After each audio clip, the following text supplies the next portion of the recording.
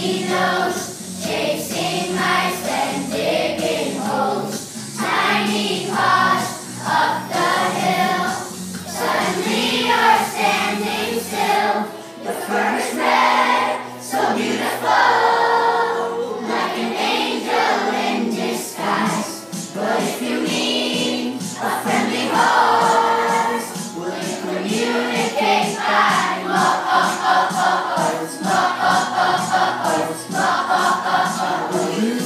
Thank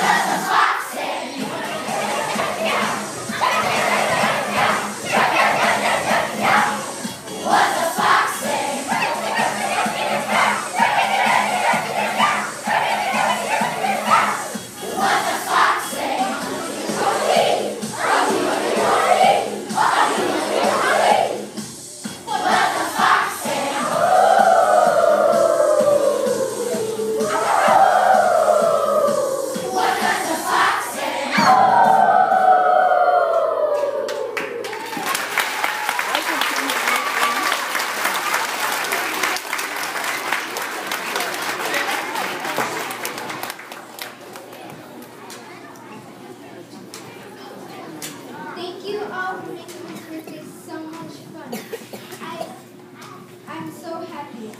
Now let's get ready for our last day of school before spring